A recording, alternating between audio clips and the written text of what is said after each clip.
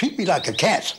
I'll purr and I'll do what I know I must. But of course, I, I like to like, otherwise I'll claw, you see. Yeah.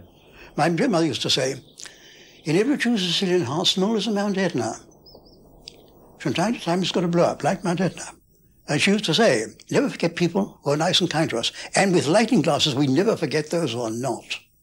You do have a very uh, fierce reputation. Have I? Mm. Oh, that's useful. I mean, I wonder, where do you collect this reputation from? I didn't collect it from anywhere.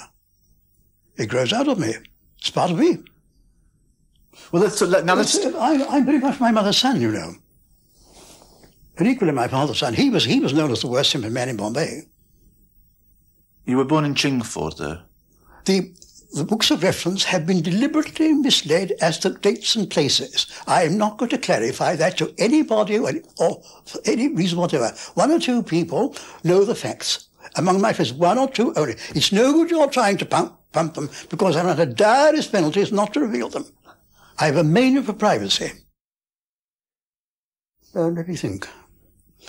When I was 15, my old master said to me, look, he said, you ought to start composing. I said, I hadn't thought of doing anything sort of something. Well, he said, look here, uh, forget all things I told you. I went towards the ordinary routine, you see.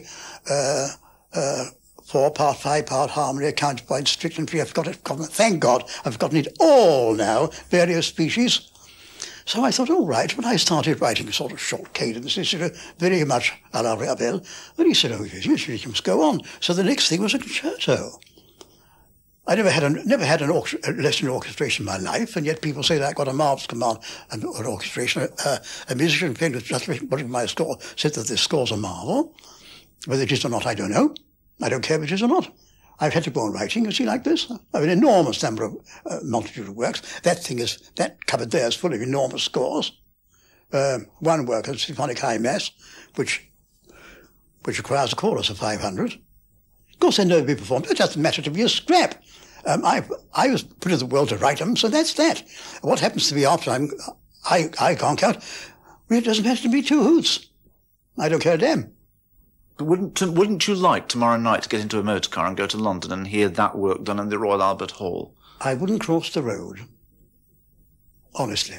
You know, I shall, if there are going to be any performances, I shall never be there. I'm not going to make an exhibition of myself, a rare issue, not on your life. No, no fear. In a concert hall among them, to smell this, their spiritual and moral aura. It's, it's a real stench, you know. Well, that's that. Go on. It's only what is called labour does what is called real work. I have not found any member of what I call the working classes who has the faintest notion of the toil, mental and, yes, physical, of writing down a few pages of a complex modern orchestral score, let alone hundreds of them. The preliminary years of drudgery on top of innate ability, plus unlimited and unpaid overtime at all times. One that once said to me, but naturally you can't understand our point of view, you are not a member of the working classes. No, indeed, I spat at him, I'm not, I work. I went on, when your hours, when not your work, are finished, off you go, gleefully boozing or whoring or both. When my work is finished, I am so drained and exhausted that I can't sleep for nights on end. You can't understand that either, can you, honest toiler?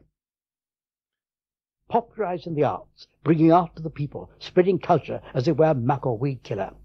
Give not that which is holy unto the dogs, neither cast ye your pearls before swine, lest they trample under their feet and turn again and rend you the immorality of artists. When people in England talk about immorality, they never mean the major sins, lying, treachery, cruelty, envy, malice, avarice. It is also only and only sex. A classic example of this occurred in the courts some years ago. Prosecuting counsel said of some scoundrel of a woman charged with forgery, perjury, swindling, and robbing her benefactors that there was no suggestion against her moral character. Now, artists we all know are hot stuff, dirty dogs, live in unmarried, seduce other men's wives, and far more thrilling than all, even sometimes get involved in nameless scandals, unspeakable vices, and so on, with relish and unction. The fact that in any village you could, if your nosiness was supported by a sufficiently pornographic and virginal persistence, find all these things going on all round you among people with the remotest connection with art or artists, doesn't in the least lessen the kick you get from occasionally finding your own swinishness in circles far above the shadow of your normal night. It is the rarity of an occurrence that makes it noticeable, and particularly to the eyes of malice, for as has been said, it makes Caliban furious to see his own face in a mirror.